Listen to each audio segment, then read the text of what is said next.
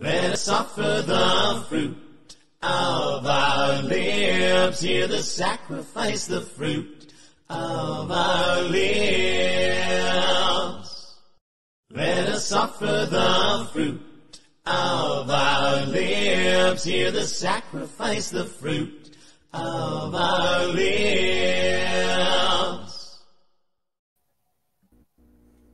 There we are. Howdy, howdy, everybody. Good evening, Shane Fisher. Thank you for being here. Good evening, Paul. Welcome to another episode to the Nother. Welcome to the Nother. Welcome to another episode of The Fruit of Our Lips. My name is Paul Mays, and I'm a Christian, and this is Shane Fisher, who is also a Christian. I'm glad that you are with us. It is a good Saturday. We've had a good time today. I uh, had family over and had a lot of fun. Did you have fun today, Shane? Oh yeah, I always have fun. You do. You have fun working, don't you? Every day, all day. Yeah, Yeah. the workingest. Well, I go ahead and broach this while we're here. While we're getting ready, I uh, have my fingers in a cup of ice because I burned them when I was cooking today on open fire. I was going to set some um, patties on some cast iron that was on a rack on open fire and the smoke got in my eyes. So i closed my eyes right as i was setting the patty down and my fingers went into hot grease from the previous burgers and i burned my skin on my two middle fingers there. So i've been in the ice for um four hours or something three or four hours i've been holding them in a cup of ice and just replacing the water, pre- replacing the ice. So that's not good, but that's all right. I have ice, so that's something to be thankful for, right? hmm So we had kids over, we had family over. My wife's family came over, and we um, grilled out and played in the creek and had a good old time. It was really fun, lots of fun. Bunch of kids and a bunch of adults having a good time out in God's creation here in Southwest Virginia. So who's with us? We've got Christine Woodall has beat Jenny Blackwell. Amazing. Somebody had a comment before our sister Jenny Blackwell came into the room. Christine up in the North Woods of Wisconsin's with us. CJ's with us. Good to see you, CJ. Stephanie's with us. Good to see you, sis. Kelly Joe's with. Hello to you. Sue Ross is with. Good. Miracle OB. I hope I pronounced that correctly. Glad to have you. Glad you're with us. Good evening to Shirley. Ouchie. Yes, it was painful. Yes, the skin rolled up. I didn't need to tell you all that, but I did apparently. Yeah, it'll be all right. I'm good. It's all right. We'll be all right. So, hello to everybody. I'm so glad with you're with us. We have a beautiful, um, compelling song about Christian evidences. Would that be an accurate description of it? Yeah, it's another Christian evidence is teaching him. And Shane started this one. I actually know how this song came about. I remember. You remember that? hmm We were. Janice. Hi. Sorry. It was. It was in December. We went with my parents. Uh, Emily and I went with my parents to the falls. There's a lot of falls over there in Middle Tennessee, oh yeah. and uh, just being there at the. Uh, I think it was Berkeley. Fall. I can't remember the name of the falls now. For Okay. the life of me. Mhm. But I was just looking at those falls, and uh, all of a sudden, this tune came to mind. I'm like, I gotta record. Gotta yes, record. yes, yes. You better pull that phone out when you get those ideas because they're fleeting, you know, even for somebody who does it all the time. You know, I do it all the time and it's it's fleeting and you better get it while the getting's good. I do I've stepped away before. I can't tell you how many times I've stepped out of um like Bible class. I mean, I just have an idea. I cannot let it go. Um, I, I know that uh, Pearls of Wisdom, which is a really old one of mine, I escaped. This is this is how old this one is. I escaped to the bathroom in the basement of the church building of the West Side Church building because, like, he, the Eddie Gilpin, pulpit minister at the time, started the Bible class and he said, "I've got a few pearls of wisdom from blah blah blah blah." That's about all I caught. And then I was like, "Ding ding ding ding!" There it is. And then in my head, in silence, I didn't, I couldn't make a sound it was going. And I was going, I've I've got to catch this. So I think I wrote the chorus in my head in silence, and then I escaped to the basement bathroom. And this is how long ago it was. I used a flip phone to call my own voicemail, and I left myself a voicemail to save it. That's how long ago that was. And then, yeah. And then right away, I wrote the first verse and I was like, I got to get back to Bible class. So I recorded the chorus and the first verse just so I'd have everything down, you know, the melody. And then I went back to Bible class. And of course, my brain wouldn't shut off. And I was still um, writing in silence from the pew. So you aren't missing anything, Jimmy. Paul's just telling about one of his old songs. You missed this. Oh, did I do that? I I burned myself on grease. Yikes. Egg white is good on burns. I did not know that. I've got um Alocane, so aloe vera and then some kind of cane, some kind of numbing something. I tried it. It didn't work well. But ice is working like a champ. I mean like a champ. Flip phone. Yeah. we used to suffer through flip phones, didn't we? Now we got these powerful computers stronger than the rockets had when NASA went to the moon. Somehow better better uh better mo- movie production studios than than old uh, Spielberg had in, in 77 when he did uh, Star Wars. Hard to believe. All right, so the hymn is called Can I Know? And it is a Christian evidences hymn, and it is gorgeous.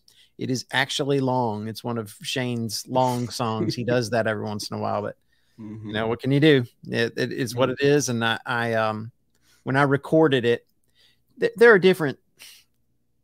Sometimes you you'll hear a hymn and you're like, this is too long, and sometimes you'll hear a hymn and and you'll be like, well, you'll be like, that was good, and you'll be like, I wonder how long it was. Oh, it must have been three minutes, maybe two and a half, three minutes, and then you're like, oh and it was a lot longer than you expected because it's just good. So I feel like this this hymn is good enough that it, it is okay for it to be long. I have a personal preference on hymn length. My ideal length for a hymn uh, is uh, 2.5 minutes. That is my opinion.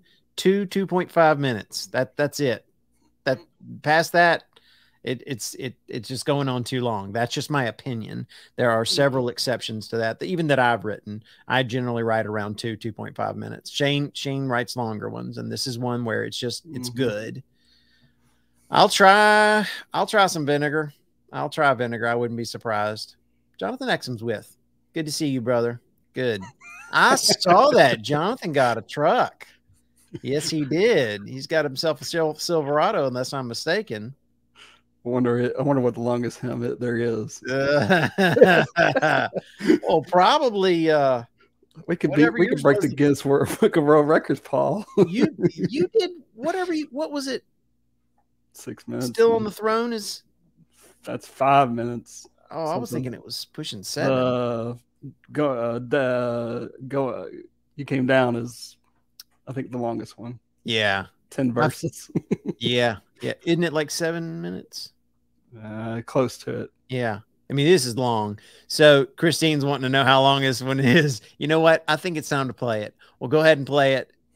Uh, you know, it's it's musically it Denise, it comes from a, a place of uh, being a um a, a I don't want to use that. I'm using it anyway. A lover of pop songs. I love pop songs, and by pop, I do mean pop and country and rock. I mean uh, popular is what I mean when I say that. Um, I I just think that well, a, a, perfect length for a pop song is three and a half minutes because you have a solo in there. That's just my opinion. I like verse, chorus, verse, chorus, bridge, solo, chorus, or something like that for a pop song, meaning pop, country, rock, blues, whatever. That's my opinion on that. But with hymns, we generally have a verses and chorus only. So it's just that uh, it's just an artistic thing. It's definitely not a doctrinal thing. It's only just like an artistic preference, and and and I don't have any uh, I don't have any authority, of course. I'm just saying, you know, less than three minutes, yeah, for Jimmy, yeah, that's generally it. Pop is the sound the guitar makes when you try to pluck the strings. oh, Jonathan, he's on point tonight. All right, 7 Eleven songs. Oh, and they're just too short, I guess. Yeah. We've got, I, you know, there are some that I think are great and they're super short. Um, I'll give you a pop song and I'll give you a, a hymn uh, because both both of them are relevant here. So I think um, there's at least one Dionne Warwick song and one Elvis song that's right around a minute 10 or something like that. And you, you know, you don't even realize that it's that short. I mean, that is short. I think that I Want to Go to Heaven by Marie Kinsella that I recorded. I think that one is just barely over a minute. I think it's about a minute 10 or something like that. And and I'm I'm fine with it. I don't think it needs any more. Um, Use Me Father that Deb Hibbard and I did. I'm sorry, Mesa Porteza, Deb Hibbard, and I did. Um, it was too short, and I wrote a, a third verse for it. The fourth, third or fourth verse for it. I can't remember, but it, it needed to be longer. I mean, I mean, it's just a personal artistic preference on that. So I said it, and I, have I've already gone too short, too long. Wait, same seven words repeated eleven times, seven eleven. So gotcha, gotcha, gotcha. Yeah, the the modern contemporary I, I make fun of them by saying, um, I love Jesus. Jesus is my friend. Jesus is my friend. Jesus, Jesus, Jesus, Jesus. The song's over. what did you What did you teach me there? Like nothing. Okay, I don't know. We shall assemble. Um, I don't know that song. Yeah. All right, so I keep saying it. Go ahead, Shane. Sorry. Well, we shall assemble on the mountain. You don't remember that? Okay. Don't know it. Let's play right. the song. All right. I keep saying that we will now. We've, we've uh, been visiting here for how long? For 12 minutes. All right. So the hymn is called Can I Know? It is a Christian evidences song for those who are just now showing up. We're so glad you're with us. And uh, we pray this hymn is a blessing to you. And now when I click this button, it's going to make us be quiet whether I want to be or not. So here we go. Let's listen. Can I know? Can I know? Can I know? Can I know that you exist? Can I know? Can I know?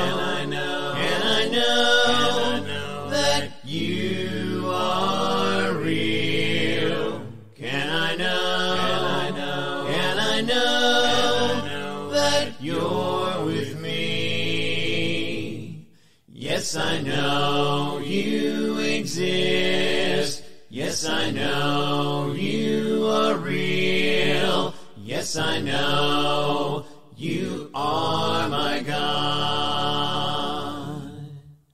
For I know the great design demands a designer.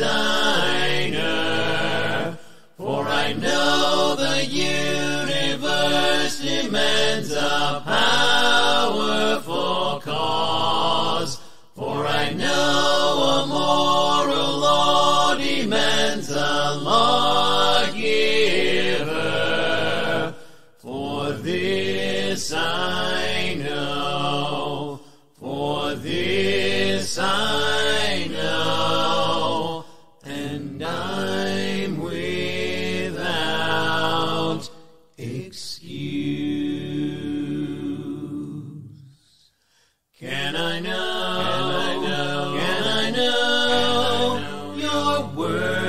True.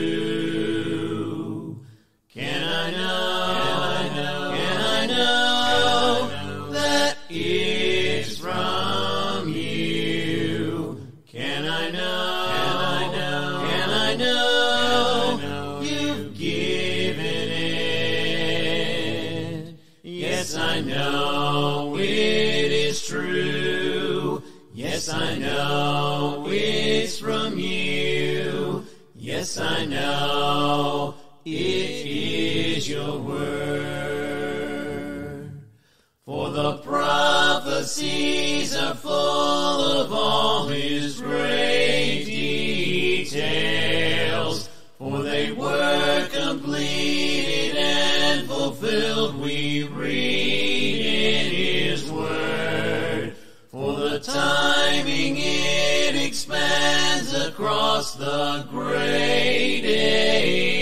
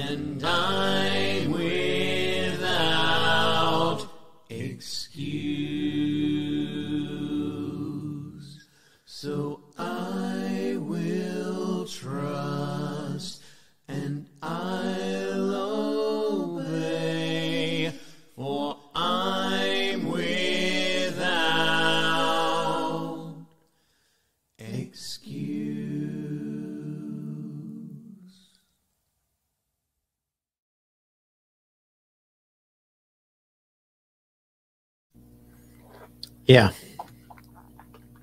It's pretty moving. Yeah. Yeah. It's a blessing to me. It's a blessing to work on that. Well, everybody ready to get started? Yeah. Let's Um, dig in. Dig in. Yeah. Let's dig in. Yes, I know that he exists. Why? The Bible tells me so. Rita's with us. Good to see you. Debbie is here. Hey there, you two. Good to see you, sis. Deb says, it's a beautiful song. Good night to Douglas. Good night. Good to see you. Phyllis is with. Good. Thank you, Phyllis. It is a beautiful song. Shane brought that to me and it has it was a fight to get it done. It, was it was a challenge. It was a good one and was worth working on. Darlene's with and Kathleen is with. Good to see y'all. Shirley says I absolutely love this song. We haven't even released this yet. This is you're you're hearing it for the first time. It's not been public any other way, just private. A few a few folks here and there. We're glad that you find it beautiful. There you go. Here you go. That will move people in the pew or it will move you. Okay. Mhm. Six minutes, 20 seconds. Christine's on it. She wanted to know. She got her answer and then she gave it to everybody. It is long. It is absolutely. Thank you, Darlene. Beautiful song. Good. I'm so glad you like it. Wonderful. Hi, everyone. It's wonderful. Look at this. Another new favorite. That is very encouraging. very encouraging. I I mean I love it. I loved recording it. It the the the thing that that was telling for me about the length being okay was that when I was done with it, I was guessing at how long it was, and I underestimated by a long, long, long shot. I don't know what I said. Was it? I think maybe I said like four and a half, four. I don't know. I know I underestimated it. hmm I don't remember. Keep me busy. What'd you say, Shane? I don't remember what you said. I, know, I you remember. I know I was off by a long. Oh yeah, yeah. You're yeah, you're you're off. Yeah. Yeah. That's the plan. All right. Jimmy's got a comment for us. It is impossible to say that you know that God does not exist. That's a fact. You can say you doubt, you can say you don't believe, but you cannot say that you know he doesn't exist and be intellectually honest. You would have to know everything. If there was just one thing you didn't know, it could be that God does exist. Yep. That's solid. All right, Shane, turn it loose on us. I think I got the PowerPoint ready. There we are. All right. So let's get into the the meat of it, you could say. So verse one, we have you want to read that, Paul? Yeah. Can I know? Can I know that you exist? Can I know? Can I know that you are real? Can I know? Can I know that you're with me? Yes, I know you exist. Yes, I know you are real. Yes, I know you are my God. So throughout this, you'll see that we always ask the questions in the verses, and then we respond with the answers that we can, in the affirmative, know the answers. Perfect. And of course, we know um, from the Bible, but also what's called, so to speak, natural revelation, uh, that we know this to be true. Sure. But we also know it from special revelation, which is the Bible. Mhm. And so Psalm 19, 1 and 2, the heavens declare the glory of God, firmament shows his handiwork, day unto night, day utters speech, and night to night reveals knowledge. Then Romans 1 20, where it says, For since the creation of the world, his invisible attributes are clearly seen, being understood by the things that are made, even his eternal power and Godhead, so that they are without excuse. Man, I love that. Dude, that that's the verse that that that's the verse that keeps getting hit on you that throughout the whole song it just over and over and over again you are you are i am i am without excuse we we are we are the things that are made we are the things that are made and we don't have an excuse hmm And you know, Paul does this quite a bit throughout his videos. He'll go out in nature and show, you know, frog or crawdads or whatever. You, I Yeah, mean, all showing all the design, which we're going to talk Yeah. about.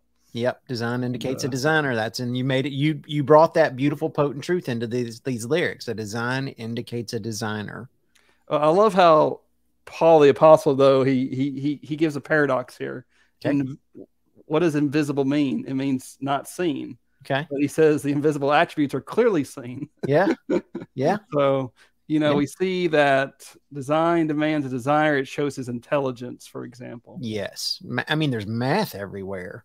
hmm And then we got, uh, I didn't want to take this verse out of its context. I want to kind of read the whole thing. Um, Okay. So, Paul, you want to read that? Sure.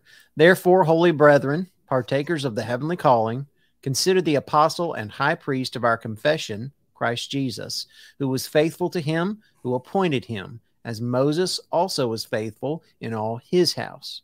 For this one has been counted worthy of more glory than Moses, inasmuch as he who built the house has more honor than the house. For every house is built by someone, but he who built all things is God. You know, that's a great truth that Hebrews writer gives. Every house is built by someone. I don't, I don't think I've ever met anybody who kind of looked at a house and was like, wow, that was amazing. The wind and Yeah, yeah. This, this This reverse rust and you know, that that tree just grew and just all of a sudden it that that tree was no longer round. It was in planks. I don't know how that happened. The iron just made itself come out of that dirt and assemble and smelted mm-hmm. itself. Yeah. It's just, you know, a, a, I'm sorry, but atheism is just laughable. I'm, I'm It- it- sorry. yeah, it takes way more faith The- to believe full- in atheism. Full said in his heart, there is no God. So. Amen. Um, so then we talk about, all right, so I know that he exists, but why? How do I know that? Yeah, And then you start with four. You start with the word for there. hmm And so we talk about pretty much the three main arguments that we use for God's existence, and they got technical names, but I wanted to use, uh, you know, uh, but we we're just going to keep with the simple stuff here. So you want to read the verse chor- chorus one?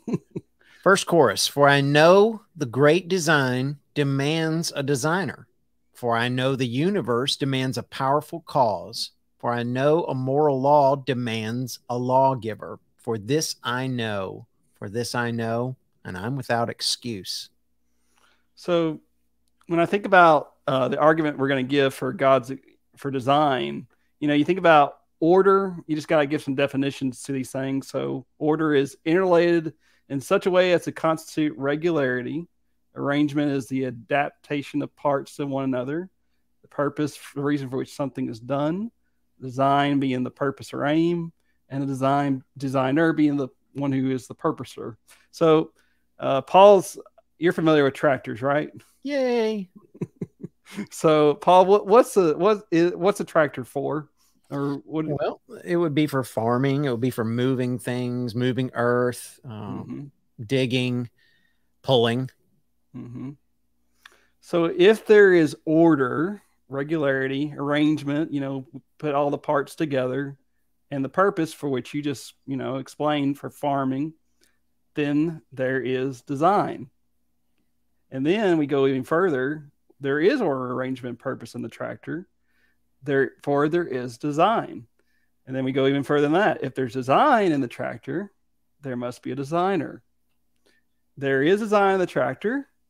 Therefore, there is a designer. And, Yep. you know, we could talk um, all about those premises. And I mean, everybody I know would say, yep, all those are true. You know, I Yep. mean, I don't know anybody who wants to go against that. And I think about this uh, concept, what's been called irreducible complexity. And basically, all it is is this uh, one man named Behe used an example of a mousetrap. And of course, you know, you have to have all the parts to that mousetrap. And if you don't have all the parts, then it ain't going to work. Yeah. Yeah. the, the mouse is going to get away with the cheese. Right. So, same thing here with regards to, for example, the respiratory system and how that's is there order, arrangement, and purpose to it? Well, yeah. for us to breathe so that we can live. Yeah. Um, so we could, you know, use that same argument with the respiratory system in it, is what's great. And then we go even, you know, let's just go even further. What about the universe itself? Well, we're Yeah. so far away from the sun that Mhm. you know, or if we were so far, I mean, sorry, if we were so close to the sun, we get we burn up. If we were so Yep. far away from it, from the right position now, then we would get Mm-hmm. freeze to death. Right. So, Yep. I use uh, intricate dance of the heavens is the terminology I use. so we could, you know, put that if there's order, arrangement, purpose in the universe, then there is design, and so Mhm. and so Yeah. forth. Yeah. So we, I always say, I always use this at the end, and you know, you, you can always say, you cannot have a poem without a poet. Poet, You cannot have art without an artist, artist. Can I have an invention without an inventor, inventor? You cannot have a book without a author, writer. Sure. and you cannot have design without a designer. Designer. Amen, somebody. It makes logical sense. Yes. Yeah.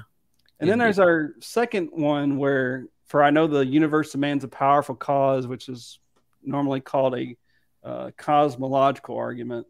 And basically, it, it, it goes to this like, when you think about worldviews, we all talk about what is the ultimate reality of things. Is it just matter, or and or is there something more? And oh. then how can I know? How can I know whether you know it's just matter or is there something beyond that? Why is it that we? What is it that we can't? Can we know? And why is it that we can know those things? Well, basically, I I just want to bring this to your all's attention. Either matter or mind is eternal. Now, let me show you why. You know, some atheists might say, well, there is no such concept as the mind. There's only matter. But uh, if you look at what uh, Thompson said in defense of God's existence, he he there was a guy named Dr. Eccles who did some research on this, and here's what he said. He says, in the past, atheists suggested that the mind is nothing more than a function of the brain. Thus, the mind and the brain are the same, and matter is all that exists. However, such a viewpoint no longer is credible intellectually, thanks to the experiments of British neurologist Sir John Eccles. Dr. Eccles documented the mind is more than merely physical by so- showing that the supplementary motor area of the brain may be fired by mere intention to do something without the motor cortex of the brain, which controls muscle movements operating.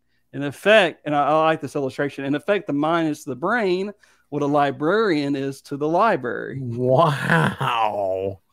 So, Wow. so, so when you think about either matter or mind is eternal, but something eternal exists since something exists now. And I always ask people this question. You know, I, I, I like thinking deep about some questions, Paul. And one of those questions is, why is there something rather than nothing? Uh, you know, you, you, you, you begin to really ponder that. And um, it makes sense that, okay, I came from my parents, and then my parents came from the grandparents. But you can, nobody believes in a what what's called an infinite regress, where you just keep on kind of like the dominoes, just keeps stacking dominoes forever and ever. Yeah. There must be some starting point. There must be some beginning. Yeah. So, so, Good. well, so the the universe it began to exist, but something had to cause the universe to come into existence. So therefore, either matter or mind is eternal, but matter's not eternal. We, I mean, that's pretty clear. Yeah. So uh, I usually bring about four questions with this. And Paul uh, just so happened to burn his hand on grease today. So, uh, you know, I think Paul would agree and say, um, uh, if I if he were to say, uh, "Hey, Paul, is the universe an illusion?" Yeah. Well, what, let's just touch that stove, Paul, and Yeah. see what ha- that hot burning stove and see what happens. I'm unfortunately, your illustration of the moment. Yes. Well, is the uni- so that the answer is a no to that. Is the universe eternal? Well, the second law of thermodynamics says everything's wearing down, and so there mm-hmm. must have been some kind of beginning point. Right. And then was the universe made from nothing? Well, you know, from nothing, nothing comes as a true principle. Uh, but there are sadly people out there who think that somehow you can get a whole big universe from nothing. But yeah. that's just Yeah. crazy thought. Yeah. Yeah. Yeah. But was the universe created? Yeah. Well, that makes the most sense. Yeah. Had to have been. God speaking it into existence. hmm Um, so matter's not eternal. Therefore, mind is eternal. Well, whose mind? God's mind, an eternal mind, a mind that lies outside of space, outside of time, outside of matter. Well, that sounds like a great definition for God. So, Yeah. And I love Genesis 1 26 and 27 because God gave us the mind to know the that we can know the evidence that he does exist. Right. So you want to read that scripture for us? Genesis 1 26 and 27. Then God said, Let us make man in our image according to our likeness. Likeness. Likeness. Sorry. So God created man in his own image. In the image of God, he created him, male and female. He created them.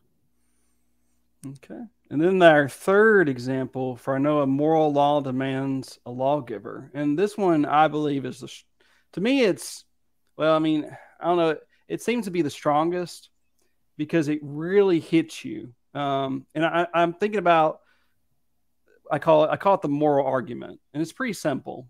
If God does not exist, then there are no objective moral values or obligations Right. but there are objective moral Yeah. values and obligations. Mm-hmm. Therefore, God does exist. Mm-hmm.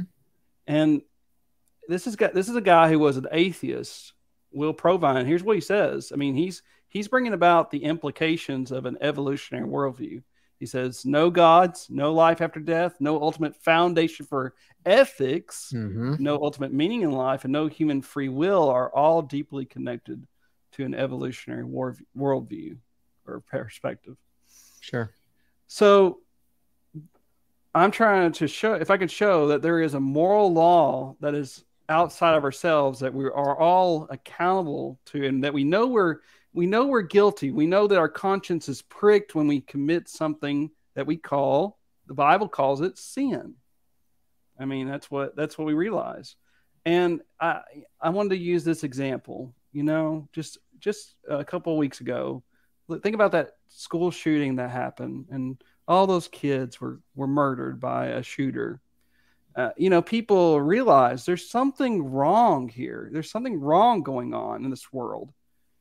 And that to me shows you that there is some things that are right and some things that are wrong. Well, who gave that law system? A lawgiver, which could only be God, the ultimate lawgiver. So I love Romans 2 14 through 16. And uh, would you mind reading that, Paul?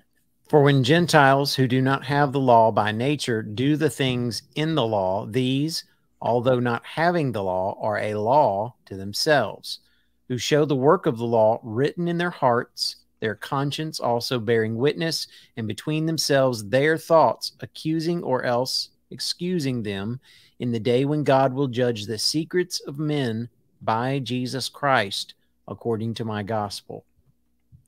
So there, you know, of course, Paul is kind of reflecting on in this context how the Gentile, the, the Jews were under the law of Moses at the time. The Gentiles did not have the written law of Moses, but yet they knew there was a moral law that they were accountable to. And of course, we all understand now today we're accountable to the law of Christ. Right. That's what we're under today. Right. And we all realize we we we've sinned against God and we've separated ourselves from him and we are in need of his grace and to be saved from our sins by which he is has provided for us the way in which we can be saved. And we'll talk more about that as we travel along. So that's why we end with almost every verse, I mean, mm-hmm. chorus, so that they are without excuse. I mean, when you think about all these three arguments of cause and effect, yeah, design, moral yep. law, morals. Yep. I mean, man, yeah. just yeah. How can an atheist say if when he gets to the day of judgment, well, God, you didn't give me enough evidence? Yeah, you didn't tell me personally. Yeah, just uh, you know, one of the reasons I think God um, so to speak, there's this um, it's called some people call it divine hiddenness, and basically that God he gives us free will. You know, he he, he gives us a, so much evidence that yes. you can know he exists. Yes, but he wants you to choose to right. follow him. Right. He's not just going to say, "Well, look at me, here I am." Let me yeah. put my, let me put or, my name in the sky here. Yeah, or the way he used to do it when he would kill people like mm-hmm. Nadab and Abihu or or when he blinded Saul. Um, we don't have that anymore, and I agree with that. I think he wants he's looking for. Well, he said he's looking for true worshipers, and if we were just scared into submission, like fully like that, you know, mm-hmm. right. I, I, maybe it's just more acceptable to him when it's just earnest, sincere, logical evidence based, mm-hmm. seeking him, and he's looking for those who are looking for him. He's looking for everyone, but he wants the ones that are seeking him. Which goes back to our song on "Seek the Lord." yeah, that's right. Watch watch that one if you like. Yeah. Uh, so then verse two. So I'll let T read this. Can I know? Can I know your word is true? Can I know? Can I know that it's from you? Can I know? Can I know you've given it? Yes, I know it is true. Yes, I know it's from you. Yes, I know it is your word. Now, of course, uh, there are other books that do claim to be from God. There's the Book of right. Mormon and the Quran and some others. Right. Um, but here, here's the thing we're going to talk about. So the Bible does make the claim that it is God's word. Now, that doesn't make it true, Right. It, there's evidence that does back up that claim, which we'll talk about. Right. So we have such verses like this. And so I'm going to read this one. All mm-hmm. scripture is given by the inspiration of God is profitable, profitable for doctrine, for reproof, for correction, for instruction in righteousness, so the man of God may be complete, thoroughly equipped for every good work. And then there's John 17, 17. And Paul, would you mind reading that one? If anyone wills to do his will, he shall know concerning the doctrine whether it is from God or whether I speak on my own authority. And in which Jesus, he always did provide evidence that he came from God, as we'll Right. discover. And then John 8, 31, 32. Then Jesus said to those Jews who believed him, If you abide in my word, you are my disciples indeed, and you shall know the truth, and the truth shall make you free. In which John 17, 17 says, Your word is Truth. truth. Amen. So now, so we've we've we've think about those three arguments of God's existence. We can know He exists. Now, with this being we haven't really, um, you know, what what God are we talking about here? Well, would this being want to reveal Himself to us? And the answer to that is, of course, um, I believe yes, based on the attributes that we do see in creation um, talks about in Acts 14, for example, how Paul and Barnabas, you'll remember, uh, said that um, they said about God that he he did he gave he was good to the people in that he provided them the rain and gave them fruitful seasons. So God is a good God. You can know that from what He's given us. Well, if God is willing to give us physical food and help us grow our food, how much more does He want us to know Him with regards to spiritual food and Right. hungering and thirsting after Him? Right. Um, so the Bible claims to be inspired of God, but does the claim have uh, back up back up with evidence? So think about example if I were to claim, uh, for example, I'm Donald Trump. Well, of course, everybody would say you're you're crazy, man. You're not Donald Trump. Well, you'd be right. I mean, I need to show evidence that I'm him. Um, well, I can I can definitely show you evidence I'm Shane Fisher. I can show you my birth Mhm. certificate. I can show you my driver's license, and I can show you some other things. Um, the point is, I'm showing evidence to back up my claim, hmm and that's what we see in regards to one of the great arguments for the Bible being God's word is predictive prophecy. Predictive prophecy. So, would you like to read the course too? For the prophecies are full of all his great details, for they were completed and fulfilled, we read in his word. For the timing it expands across the great ages. For this I know, for this I know, and I'm without excuse. Okay. So there are always three necessary ingredients for true prophecy. And I know prophecy is used, and so to speak, to just speak something for God, but it's also used in the sense of predicting the future sometimes. And that's what we're talking about here, and that there's significant timing. So, you know, I, I predict uh, tomorrow it's going to, you know, rain or something. Uh, that's not, that's nothing special, you know uh, specific details you have to give in regards to that prophecy. And it can't just be 90% fulfilled, it's got to be 100% completely fulfilled. And, you know, we could talk a lot about many prophecies, and I just want to look talk about one. And this is Isaiah 53, uh, which is one of the most famous ones. Sure. So you want to read this one, Paul? Who has believed our report, and to whom has the arm of the Lord been revealed? For he shall grow up before him as a tender plant, and as a root out of dry ground. He has no form or comeliness, and when we see him, there is no beauty that we should desire him. He is despised and rejected by men, a man of sorrows and acquainted with grief. And we hid, as it were, our faces from him. He was despised, and we did not esteem him. You know, think about some of the things that are mentioned here. I don't want to talk about all of them, but you know, think about as a root out of dry ground. Um, you think about how Jesus grew up. Where did he grow up at? He grew up in Nazareth, and you know, Philip said, uh, or Nathaniel. Nathaniel said, "Can anything good come out of Nazareth?" I mean, saying that. I mean, Jesus did not grow up in a palace, you know, surrounded by all these servants and uh, just you know uh, he was he, he wasn't rich uh, physically and Right. so we need to recognize that all these details here he was indeed despised and rejected by men and um, people did despise and did not esteem him.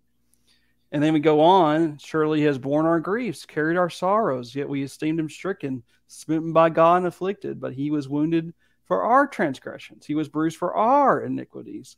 The chastisement for our peace was upon him, and by his stripes we are healed. I mean, it implies there that Jesus did not sin. Jesus actually was, you know, he was, he took the punishment for our for our sins, and um, so all these great details. So Isaiah wrote this around, so to speak, 750 years before Christ was even born. Now, some people might ask this question, Paul. Well, how do you know that the supposed prophecy was not fulfilled until after it was written down? You know, that's a that's a really good question, and uh, you know, and the way that we can understand this is because we know Jesus lived around this time period of, you know, he died on the cross around 30 A.D.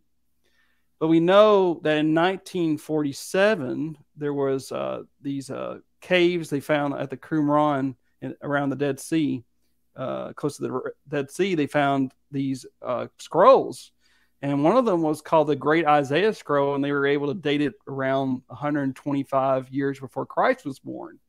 Hmm. All right, I mean, just assuming the case. All right, let's just take the late date, 125 BC. Well, that's that's still 130 years. so, I mean, that's amazing to me. Uh, but of course, you know, we believe what the Bible says that Isaiah did live uh, around 750 BC or so. So that that's how I know that, um, you know, such as these prophecies here, that we have an example of a copy of the scrolls around that time. Um, in fact, we go to Acts 8, 31 through 34, where Philip goes to the Ethiopian eunuch and he says to him, How uh, the Ethiopian eunuch says, How can I unless someone guides me? And he asked Philip to come up and sit with him. And the place in the scripture which he read was this He was led as a sheep to the slaughter, and as a lamb before its shearer is silent. So he opened not his mouth. And his humiliation, his justice was taken away. Who will declare his generation? For his life is taken from the earth. So the eunuch answered Philip and said, I ask you, of whom does the prophet say this, or of himself or some other man? Then Philip opened his mouth and, beginning at the scripture, preached Jesus to him. Man, I that, love that. That Jesus is the fulfillment of Isaiah 53. Um, so it's just amazing to see, uh, you know, just just an example that we can know God's word is true because these prophecies did indeed come to pass. Okay, so you want to read verse three? Can I know? Can I know your son exists? Can I know? Can I know that he is real? Can I know? Can I know he is divine? Yes, I know he exists. Yes, I know he is real. Yes, I know he is divine. You know, there's uh, people today, Paul, that even try to will state, uh, Jesus of Nazareth, he never existed. Yeah. and I'm like, really? Mm. Even even sources outside the New Testament would right. show that he did indeed exist. And I'm just gonna let's just go to the Bible first because John is an eye uh, the Gospel of John is an eyewitness testimony, as we find in John 21. And so he says, In the beginning was the Word, and the Word was with God, and the Word was God. And jumping down to verse 14, and the Word became flesh dwelt among us, and we beheld his glory. The glory is the only begotten of the Father, full of grace and truth. And so we we not just John, but even sources, even if we were just to uh, handle, let's just say, just handling the New Testament as if they were just historical documents only. Well, still, even just having them as historical documents, you know that Jesus did indeed exist. Yeah. And you know that Josephus, who was a Jewish historian, we got Tacitus, a Roman historian, we got Lucius, a Gentile, Mara bar Serapion, and Clement of Rome, and and and Polycarp, who were early Christians um, after in the in the second century. And so you got all that evidence of early sources demonstrating that Jesus did exist. Now, how do we know he's divine? Because of, once again, just like with the word of God, just because it claims something to be true doesn't make it true. Right. It show he Jesus did indeed show evidence, and three of these that we're bringing about is prophecies, miracles, and of course, he was resurrected from the dead. Right. So, for he has fulfilled the prophecies, a chosen one. For he has performed the miracles, they are verified. He was seen alive again by many in the flesh. For this I know, for this I know, and I'm without excuse. And there's so many prophecies we could look at um, with regard to Jesus, and we already looked at Isaiah 53. I love what Jesus said um, to his disciples um, after he rose from the dead. He says, Then he said to them, These are the words which I spoke to you while I was still with you, that all things must be fulfilled, which were written in the law of Moses and the prophets and the Psalms concerning me. And he opened their understanding that they might comprehend the scriptures. Mm-hmm. I would have loved to have been in that conversation to see what Jesus would have said to them. That would be Mhm. amazing. Yes, that would be brilliant. Um, did he mention this one, Psalm 22? He may have. We don't know. But, you know, this is one of the Psalms of David. And uh, you mind reading this one? I am poured out like water, and all my bone, bones are out of joint. My heart is like wax, it has melted within me. My strength is dried up like a potsherd, and my tongue clings to my jaws. You have brought me to the dust of death, for dogs have surrounded me. The congregation of the wicked has enclosed me. They pierced my hands and my feet.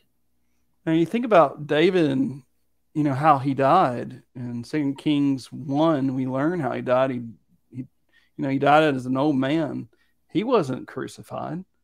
But here we see that this this so this must be a prophecy that's beyond David, which would be to the son of David, which is Jesus himself, in which he was crucified. There were nails that pierced through his hands and his feet. Um, then he has performed the miracles; they are verified. And which what's really interesting is uh, when the first thing that, uh, or one of the first things that Peter talks to that crowd about. He says, Men of Israel, hear these words Jesus of Nazareth, a man attested by God to you by miracles, wonders, and signs which God did through him in your midst. Now, notice this, as you yourselves also know. Mhm. I, I, I love how throughout Acts, you know, the only thing they can, well, or even throughout the gospel accounts, they'll either say, "Oh, he's he's doing this by the power of Satan," or they're gonna, "We can't deny that this has been done." Yeah. but they they don't deny that a miracle has been performed. Is what's interesting, and and what I find interesting is even the enemy attestation later that comes about. Like for example, from Celsus here, he lived in a 175 AD, and uh, he he claims that Jesus actually went down to Egypt, and I'm just going to read that part in bold there. It says, while there, he acquired certain magical powers which Egyptians pride themselves on possessing. Well, was he? You know, impl- what's the implication there? Well, he's impl- he's not denying that Jesus did something powerful. Um, he's he's actually saying that he did something that's you know out of this world. So I Mhm. think that's kind of interesting. And then you got the Jewish Talmud, 400 to 700 AD. Uh, like Jesus practiced magic and led Israel astray, is what it says. Well, I mean, uh, they're they're they're emitting something. Mhm. So They're hostile witnesses. Isn't that Yeah. accurate? mhm. Yeah. I think that's what they, Hostile witnesses. Yeah, hostile witnesses are ones who are speaking against the person who they are. They're, they're the ones who are verifying the person that they are speaking against. They're Mhm. actually proving his existence, even And though he they were was against him. And he was seen alive again by many in the flesh. Of course, referring to the greatest miracle of all, which is the resurrection of Christ. Hang on, right, right here Bert, before we go, before we continue. I honestly didn't know how amazing Shane Fisher is on teaching. Thank you so much, Shane. Yeah, I, I've I've learned my lesson.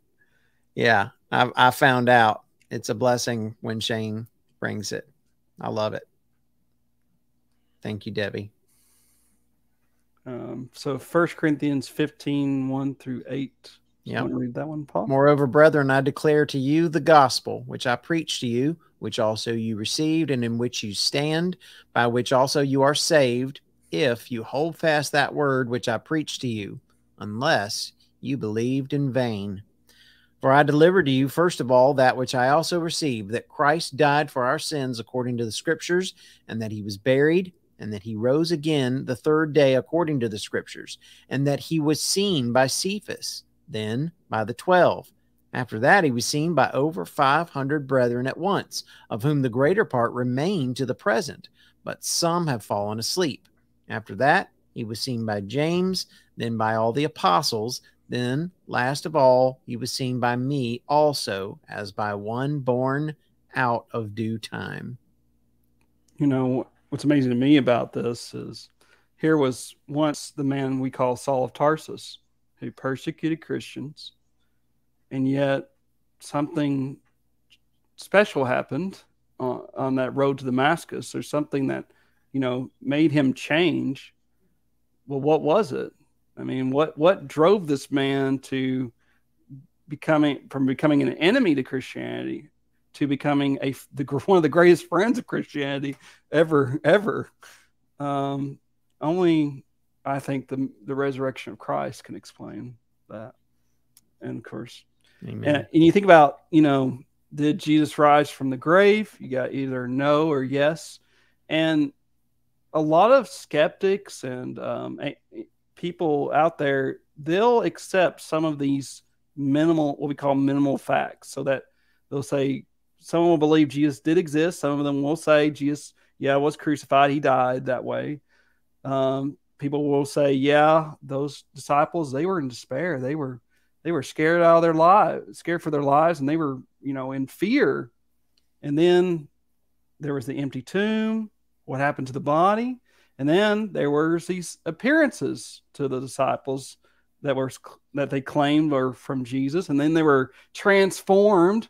They were changed. They went from being fearful to being some of the most courageous men who would even die for what they believed to be the truth. And then they, of course, the message is pretty early. Um, and then it happened exactly where it said it would happen in Jerusalem and spread from there to Judea, Samaria, and the ends of the earth. And we know that Sunday, there's something special about Sunday because it's the first day of the week in which Jesus rose again. And then, of course, the church began in Acts 2. And we know that James, he was a skeptic. I mean, he, and John chapter 7, but he changed. And we also know Saul of Tarsus, he was once an enemy to Christianity, but he changed. So, what accounts for all these facts? And, you know, a lot of people will say they'll come up with various theories, but they just don't all fit these facts. The only one that has the best explanation for the facts is that Jesus did indeed rose from the dead. That's what makes the most sense. And we could, of course, yeah. talk a lot more about those things. Let me, let me pull up a script uh, sure. comment here. Sure. How do we know that George Washington exists? Did you know that there's more evidence for Jesus than than Washington? I I actually shared that with um, a person who I had been working with, and uh, it was a pair of sisters, and um, they're both educated, and I'm not. And I said that, and the one sister who was only really really educated, the other one is really really really really educated um, I said that to the one, and and she kind of paused. I was like, "Yeah, there's there's more historical, impartial, secular evidence of the existence of Jesus Christ than there is that George Washington existed." Hmm. And and the one sister was like, she turned to the smarter sister, and the smarter sister in silence said, "Neither one of them, you know, are neither one of them are Christians." Mm-hmm. And the one that's really smart, she she just shook her head and and acknowledged that that's the fact. She didn't say anything. She the one you know the the one sister looked to the other sister and you know mm-hmm. they didn't like it, but that's just a fact. There's more existence. There's more evidence that Jesus Christ existed as a living human being than there is that that George Washington. Like more impartial evidence. I mean, it's mm-hmm. just a fact. Mm-hmm so that you know when i was writing this song i was like this has to drive us to a conclusion and, and you know the reason i wrote this verse is because uh, paul you know as i i have when you ask people are you going to heaven sometimes I've heard Christians say, "Well, I hope so,", So yeah, and that's that's a sad reality. yeah. That is, bad. not uh, the Bible sh- teaches that you can have assurance, right. and so this is a reason for the fourth. It's verse. beautiful. It is a beautiful, needed verse. The comments I have been. This is this is Yeah, let's loaded with teaching, as usual. A Shane uh, hymn is always loaded with teaching. I saw a comment blaze by that I've missed. I've missed most of the comments, but Jimmy Bagwell said um, uh, that it doesn't. I can't remember how he said it, but there, when you need to get teaching into the hymn, the uh, duration of the hymn that we were talking about earlier, the length of the hymn, it's only a suggestion. It kind of it kind of doesn't matter. We've got to get the doctrine into it, and that's why it's okay. But musically, it's it's good too, and it's also worth it to keep going. Mhm. We can focus on some of the comments if you want to. Uh, First John chapter five assurance. Yep. Thank you, Debbie. Thank you. Yep. Hope is not a maybe; it's a guarantee. That's good. CJ says his sweet niece is with. Good to see you. I'm glad you're with us. Mhm. Oh, let me scroll back because I was looking for.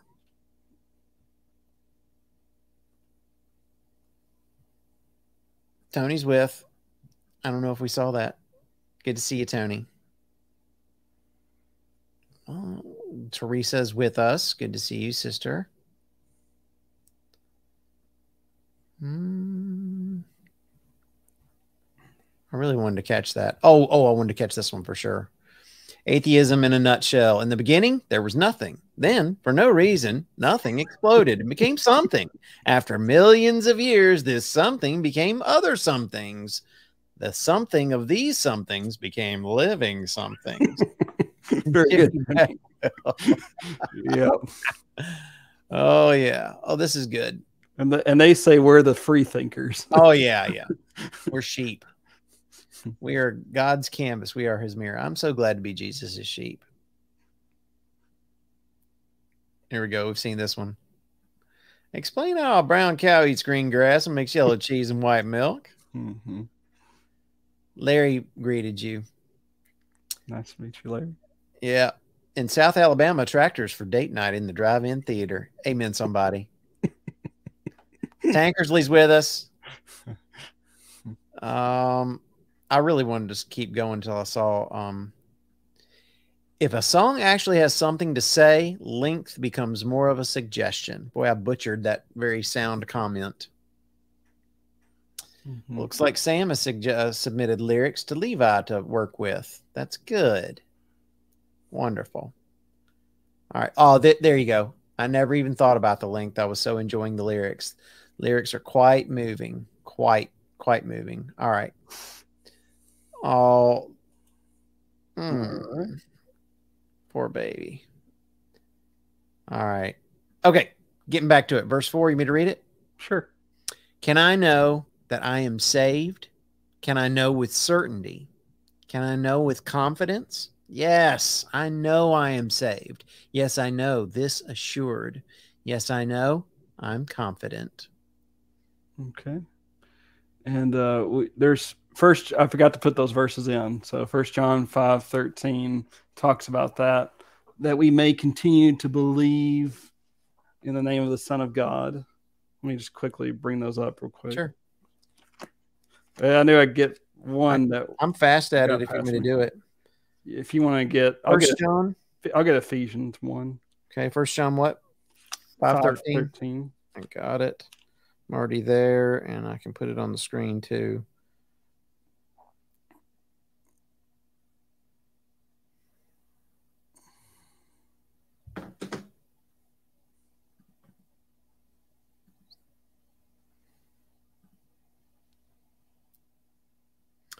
Oh, sorry, CJ. I totally missed that. I didn't catch that she was six months old. He was joking. Sorry. Gotcha.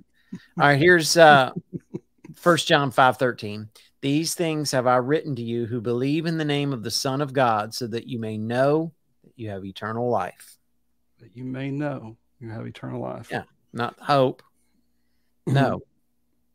Then uh, Ephesians 1 13 and 14 says, In him you also trusted after you heard the word of truth, the gospel of your salvation. and him also, having believed, you were sealed with the Holy Spirit of promise, who is the guarantee of our inheritance unto the redemption of the purchased possession to the praise of his glory. And, uh, but it, why, you know, who, you know, what is our ground for assurance? Well, it's because of what Jesus did for us. Right. That's why. Yeah. And um, First Timothy, I mean, it says, uh, "For I know that God, Jesus gave Himself for all mankind. For I know that from the cross the blood and love was out poured out. Mm. For He came and then obeyed unto the point of death. For this I know, for this I know, and I'm without excuse." So here's some of those verses. So if you want to read those, Paul. For this is good and acceptable in the sight of God our Savior, who desires all men to be saved and to come to the knowledge of the truth. God desires all men to be saved, but not all will be saved, unfortunately. Unfortunately. First John 2 1 and 2 My little children, these things I write to you so that you may not sin. And if anyone sins, we have an advocate with the Father, Jesus Christ the righteous, and he himself is a propitiation for our sins, and not for ours only, but also for the whole world.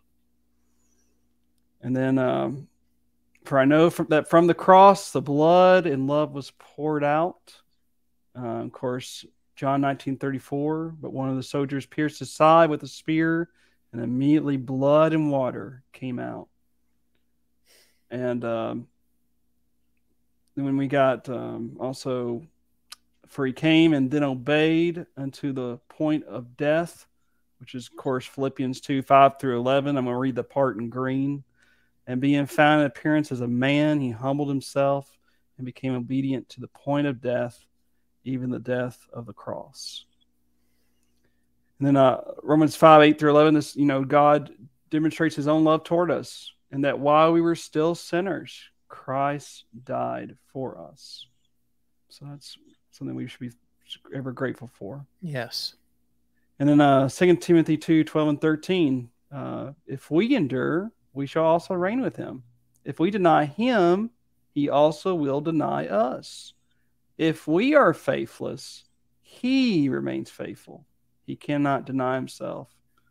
So I'm very thankful that for what Jesus did on the cross, that it brought a it can it it can bring about salvation f- for people who want to be saved. But like we always need to talk about, unfortunately, the religious world just gets the response on the part of man. Um, they just don't understand the biblical definition of faith and Right. obedience, and Right. ah, Right. it just it really tugs at me that people don't understand. We we all recognize that God's gift of eternal life is in Christ Jesus. No doubt about it. We can't earn our salvation. That is so true. Yeah. But God has conditions. Yes. Yeah. He has Yeah. comm- he does have commandments. I mean, when I read Acts 10 47, he commanded them to be baptized in the name of the Yeah. Lord. Yeah. he command that's a commandment. I mean, It, Uh, it doesn't matter what those commandments are. It does not matter what his conditions are. No matter what those conditions are, we still can't earn salvation. right. We have conditions. We can't earn salvation. Both are true. And so, a sinner, how can he contact the blood of Christ? Very simple. I mean, all these verses that we have here that we've, I know we've mentioned many times before, but it's sad that so many people reject the truth. And um, we shouldn't, I hope if you're watching this, maybe you are in a denomination that you realize, hey, I know the truth that God exists. I know that Jesus uh, is the Son of God. I know that the Bible is His Word. But now you realize, I know I'm I'm not saved because I have not obeyed what God said for me to do in order to be saved. Well, I mean, it's pretty clear here from these passages of Scripture that we have here up. I mean, there's a lot more we could put, but as Hebrews Mhm. five eight and nine says, He became the author of eternal salvation to all them that obey Him. Obey him. Look at this one right here. Sorry, I didn't mean to cut you off. No, Please, no, please sorry. continue. well, I was just going to say, So, um, this all leads up to. I'm glad that Paul thought of this great ending. So I will trust and I'll obey, for I'm without excuse. And I really hope people will do that. it gives me chills. It gives me Mhm. chills. Sonia Radford, thank you, Jesus, for dying for us sinners. And if we remain faithful till death, we will have a heavenly home if we follow the truth. That is Mhm. a true statement, sister. Thank you for that. Truth is so simple. Why don't people just believe it? Why don't people believe it? Yep. It is it is really simple. And I wanted you to see this, Shane. We I I totally agree with this. Shane, you have done a terrific job. You're so knowledgeable. Shane is a blessing. I love working with Shane. I I am I am blessed to be able to work with Shane. I don't I can't imagine not having Shane to work with. I would not want to work without Shane. Thanks, Paul.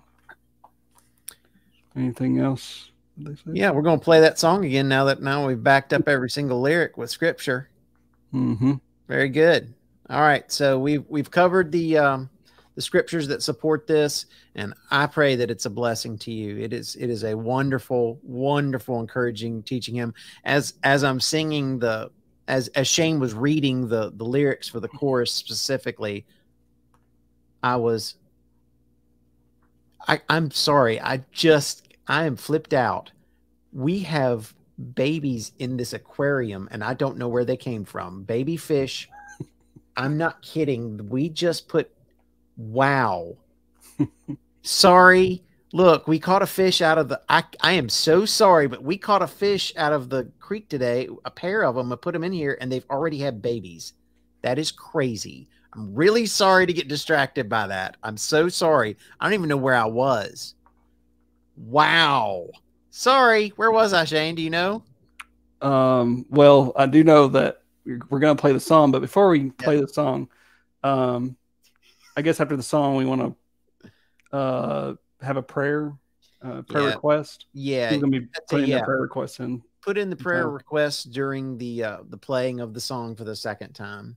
Um, My children are gonna be excited about that. Sorry. and, I, and I do I do want to end with a please if you have children or grandchildren, please teach them this song. yeah. Um, we live in an Acts 17 culture, I call it today, in which, you know, what I mean by that is there was an Acts 2 culture at one time in America where people were familiar with the Bible and you could study the Bible with them and you had some common ground. But now we have a case where people don't even believe in God and people don't even believe the Bible to be the Word of God. And we need to be ready to give an answer for the reason of the hope within us with meekness and fear. And so one of the things we can do is train our children.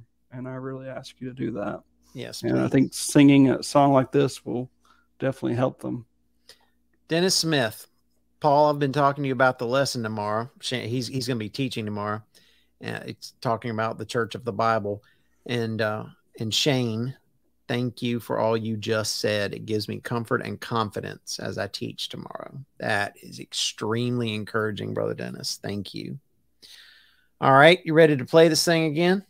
Shane? Mhm. And put All right. your prayer requests in. Yeah, put in your prayer request, and Shane will lead us in this in the, in a prayer after that. Yeah, there we go. That's what we'll need to pray for. One of the things we'll need to pray for. Put your prayer request in while while the hymn plays for the second time. We pray this hymn is a blessing to you. I love it. It is a, a blessing to me for sure. I love recording. I remember what I was saying. So when when Shane was reading out the lyrics, I was hearing the music in my head, and it's it's just a compelling combination of of Bible truth with um appropriate melody and, and it's it's wonderful. All right, let me pull this one up. It's time to play Can I Know again for the second time. We pray it's a blessing to you. Now we've dug into lyrics, we know that it's the truth. Let's listen again.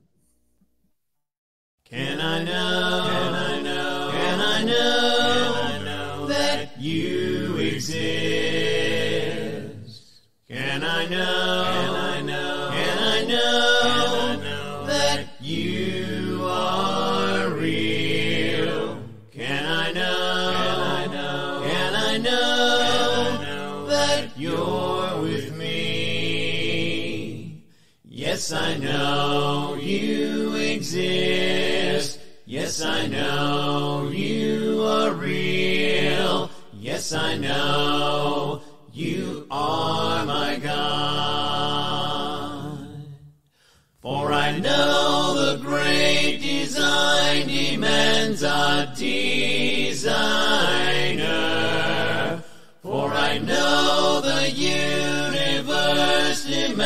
Demands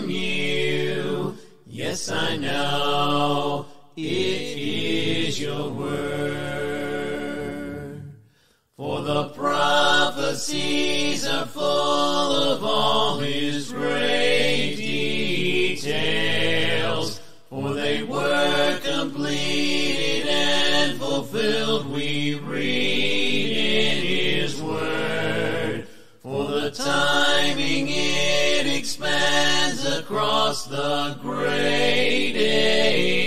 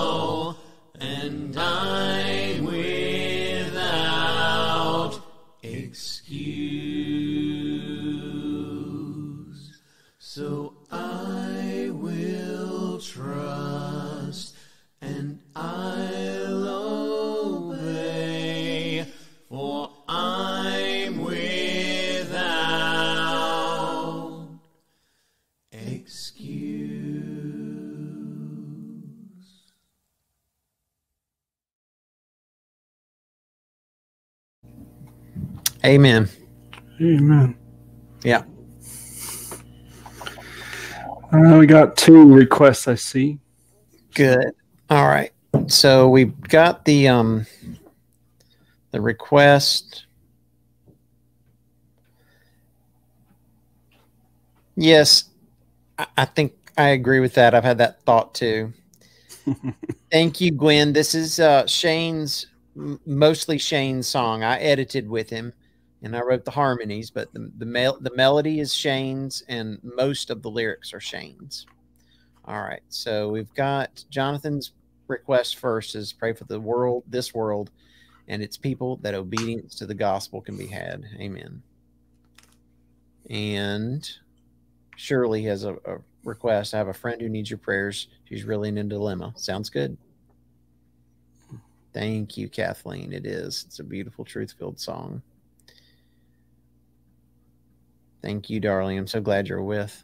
Thank you, Debbie. I'm glad you're with. So I'm I'm grateful for all of your um, participation, and it's a blessing to us that you would be here for this. Well, let's go to God in prayer. Please do. Heavenly Father, as we come before you, we're so thankful, Father, that you give us all talents that we can use to bring to glorify your name. Thank you, Father, for allowing me to have the part to do melodies and for Paul to be able to do harmonies and and for others, Lord, who are part of that uh, talent of doing that. We're so thankful, Father, we can speak truth and sing truth and uh, glorify you. And pray, Father, this song will help us to remember the evidence that you exist and for your word being true, for Jesus being the Son of God, and knowing, Father, if we are uh, Christians who have, uh, we know that if we follow your will, we know we can we can know with assurance that we are saved. Father, we just pray for those who have asked for prayers. Pray for Shirley's friend. Uh, we pray for the world, Lord, that we can reach them with the gospel. Father's so many people who are lost, and help us to have the opportunity presented to us through your providence to help bring them to you. May your will be done in all things, Lord. It's in your son's name we pray. Amen. Amen. Thank you so much. Thank you, Shane. I really appreciate that prayer. All right, church. I hope you have a wonderful day. We we hope that you have a wonderful day of worship tomorrow. We pray that your worship is accepted by God and it's fervent and it is edifying and that you edify both. Look at that. Hello, Shane. I met him when he was with Travis. I'm so happy to see brothers working together in harmony. Yes, ma'am. Yes, ma'am. Absolutely. and you put that harmony in quotes. That's right. uh, I do have a, a announcement to make. Um, thank you, sister. I do have an announcement to make. I've had Shane on with me uh, several times now. I guess this is probably the third or fourth one. Something like that. and I have two other brothers who are going to step up and and uh, come teach the hymns that we co-wrote together. That is Larry Paisley. I don't know how. Do you know Larry Shane? Larry To my knowledge. Larry Paisley's a brother. I don't. He's older than us. I don't know. Uh, older than us, like as as much older than me as I am to you. I'm not sure how, how old he is actually. Um, and he is uh, going to come on. He's the one that wrote. We wrote um, Oh no. Now I gotta look it up. I gotta look it up. Uh no, can't pull it up. Paul Mays, Larry Paisley. Nope. I tried it on YouTube. Now I'm trying on Facebook. I get it. What is it?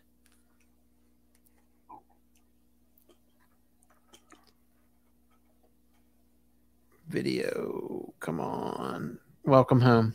It's called Welcome Home. Um,